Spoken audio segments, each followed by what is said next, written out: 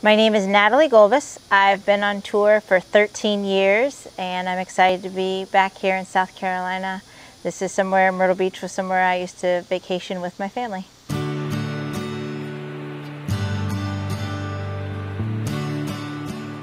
I like to go to the beach as often as possible. A perfect day for me would be to get up and do something active in the morning like yoga or run or walk on the beach or paddleboard in the ocean or somewhere. And what's cool about paddleboarding is it's becoming more popular and you can paddleboard in almost as many places as you can play golf now. More than anything, I like to be out on the water and today was beautiful. We went paddling at, at Pawleys Island and just to see the wildlife out there and it's just really, really pretty.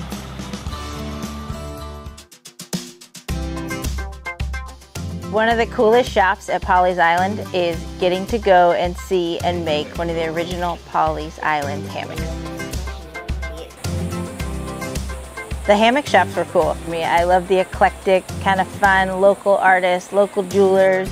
I've been able to travel all over the world, but it's fun for me to have some things to bring back home that has a local feel. I mean, today I got to go to some really cool shops and learn about a poly shell, and I like to have little pieces of the places that I get to, to get to go and travel and visit and vacation at.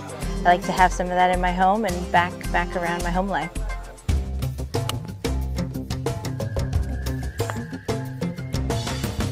I have played golf all over the world and playing at Myrtle Beach is really special because you can get a variety of, of different types of golf courses.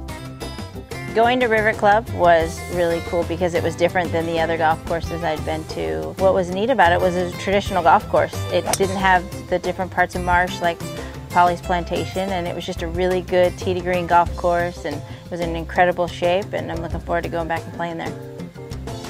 Pawleys Plantation is one of my favorite courses because of number 13 and 17. I mean, those holes are amazing and just to have two brutally tough signature holes and have them just with marsh area, native marsh area everywhere. And uh, just aesthetically, they were really incredible and just in difficulty, really special holes.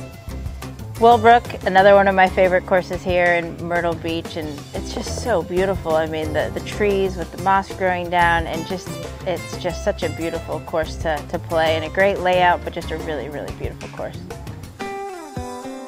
What I love about Myrtle Beach is it has everything that you would want in a vacation. You can play golf, you can go to the beach, there's great restaurants and shopping and other fun activities. It's a complete destination vacation place to, to come to and I want to encourage everyone to go and check it out and I know they'll love it as much as I do.